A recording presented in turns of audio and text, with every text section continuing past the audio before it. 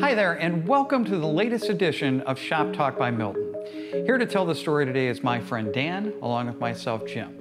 Today's topic is FRLs filters, regulators, and lubricators.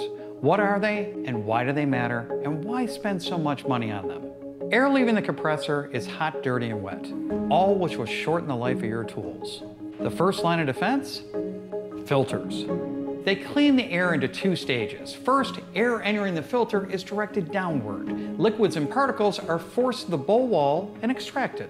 Second, air flows inward through the filter element, where additional contaminants are removed as small as four microns.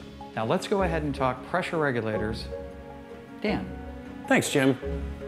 Pressure regulators reduce and control downstream air pressure in a compressed air system. This is great for air tools, blowguns, or aerosol lubrication systems. Why is this important? It allows for precise downstream pressure control. Also, there's a built-in safety piston diaphragm which automatically vents excessive pressure in the system. This prevents overspeeding of your tools, which can damage them. So this extends the life of your tools. Now on to lubrication. Lubrication ensures consistent operation of your tools. It adds a set quantity of oil into the system, reducing moving component friction. How does it do this? Pressurized air turns oil into a smooth aerosol. This provides needed tool lubrication. Now that we've talked about each of the components, let's talk about the different ways you can package them. There is the piggyback, which is the filter and the regulator in one small convenient package. Saves on space, it's one package, you're done. You can get the Duo, which is a filter and a regulator in a matched set, or you can get the FRL, which is gonna be the filter, regulator, and lubricator, also in a matched set.